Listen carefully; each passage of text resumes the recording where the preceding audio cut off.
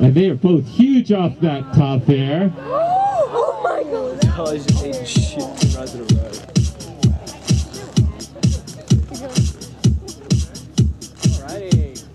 Tyler, give us a wave if you're okay up there.